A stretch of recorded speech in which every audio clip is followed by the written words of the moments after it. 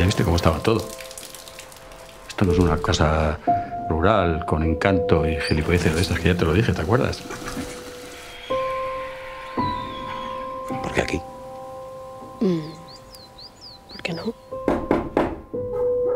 No quiero que te enfades.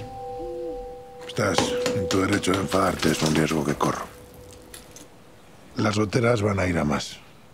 Yo puedo arreglarte el tejado a cambio de que me dejes entrar en ti un rato. Digo, soy yo, ¿cómo podría ser otra? Podrías haber sido otra y yo también podría haber sido otro. Tú te crees con derecho a juzgar, pero no tienes ni idea de nada. Tú no me conoces.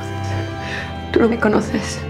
No me conoces nada, no me conoces nada, no me conoces nada. ¿En qué piensas cuando estás conmigo?